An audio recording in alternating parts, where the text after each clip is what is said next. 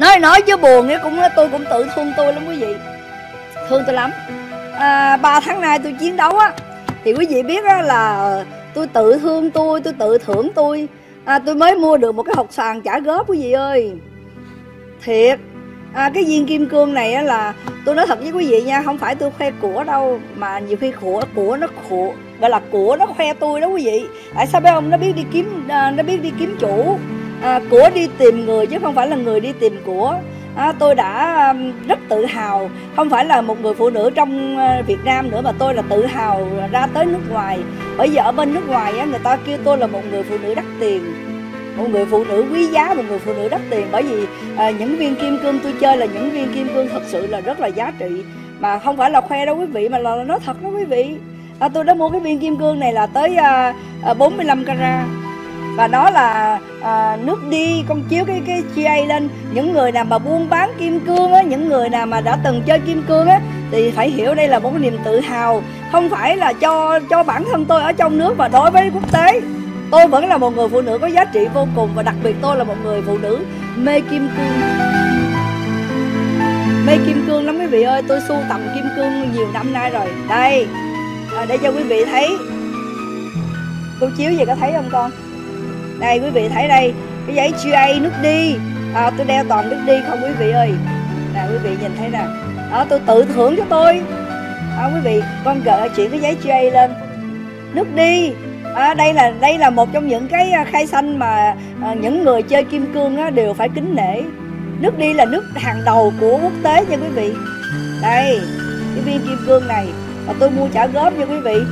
À, tôi cũng phải bon chen với đời tôi trả góp à, mỗi tháng tôi trả nhiêu đó chừng nào mà trả hết thôi. À, quý vị.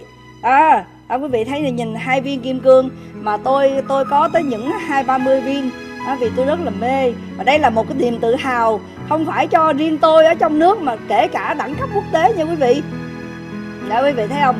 Tôi đeo một cái đôi bông một cái viên bông như thế này là là 10 carat. Cũng nứt đi.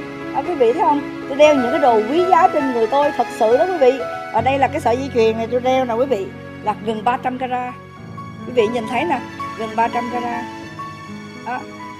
Tôi nói tôi, tôi nói tôi nói một lần trong đời tôi cũng hãnh diện lắm.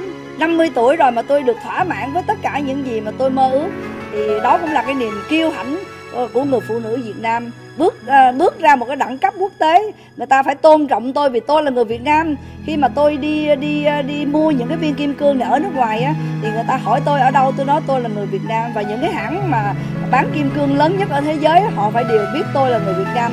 Đây là cái điều tự hào của người một người phụ nữ Việt Nam không những là ở ngoài nước mà trong nước thì ít có người biết lắm. Tôi chắc chắn với vị rằng là nếu mà nói về độ chơi kim cương sát thương á không ai chơi bằng tôi đâu tôi bảo đảm với quý vị á tôi chơi những cái mà không có thể nào mà à, tưởng tượng được. Nhưng mà đó là niềm kiêu hãnh của tôi. Tôi rất kiêu hãnh quý vị. Tôi có quyền kiêu hãnh. Bởi vì tôi sống thật tôi chơi thật và tôi làm thật.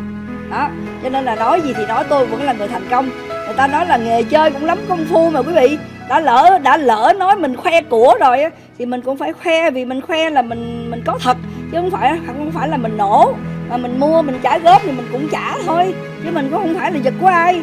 Đó cho nên là thôi tôi cũng tự thương tôi à, bằng cách là tôi mua thưởng tôi. À, nhân kỷ niệm 15 năm thì tôi tự thưởng tôi.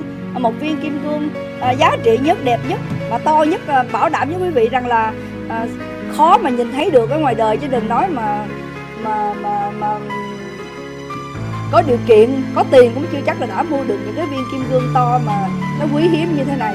Thì thôi ai lỡ ghét thì cho ghét luôn. À, ai lỡ chửi tôi khoe của thì tôi khoe luôn bởi vì tôi có tôi mới khoe. Chứ nhiều khi ờ, không có lấy đâu khoe phải không quý vị? Cho nên cái này cũng là một cái hạnh phúc của tôi.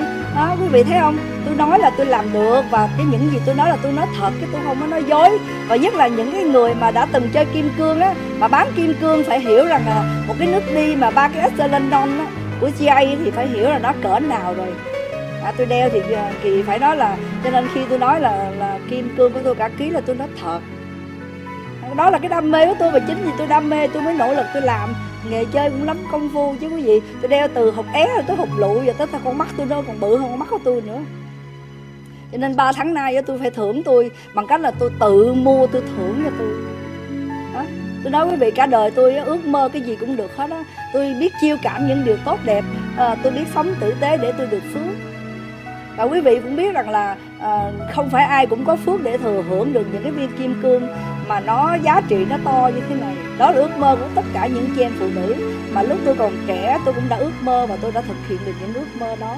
Tại quý vị không để ý tôi có mấy chục viên luôn mỗi lần tôi xuất hiện là tôi đều đeo những kiểu khác nhau hết đó. Cho nên nói gì nói, tôi vẫn là người thành công, kể cả một mình tôi tôi cũng vẫn thành công. Tôi có anh dũng, tôi cũng thành công, mà không có anh dũng, tôi cũng thành công. Cho nên ai đó mà muốn tiến cử và anh dũng thì cứ thẳng thẳng thẳng thẳng bước mà tiến thôi. Không có ngại ngùng gì tôi đâu nha. Tôi từng nói mà, cái đó là niềm kiêu hãnh của tôi. Tôi sống tôi có giá trị của tôi. À, tôi không ăn bám chồng, tôi không lợi dụng ai, tôi không lường gạt ai, tôi không làm gì vi phạm pháp luật hết. Tôi có, tôi mang cho đời thì tôi tội tình gì? À, tôi phải được trân trọng chứ. Chứ tại sao là tôi bị vùi dập như vậy được? Tại sao mà lại bất công với tôi vậy được? Cái điều đó nó không có đúng.